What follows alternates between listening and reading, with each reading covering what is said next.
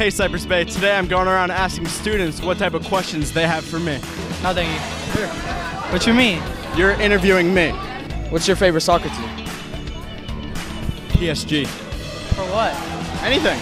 Go. Just like that? Yeah, go. Do you believe that Nebraska exists? No. How's your day? Good, how was yours? It's been okay. How many letters are in the alphabet? 24 or 26? It's one of them. I did win. How much? 1 nil. Who scored? Charlie Selden here uh, with CBTV.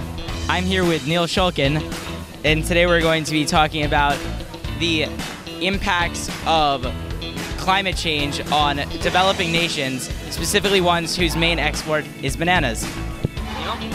Neil? Neil? Neymar. oh my god. You're on a prank show. There's literally a camera right there. it's right there. It was fun being on the opposite side of an interview. I'm Neil Shulkin, CB TV.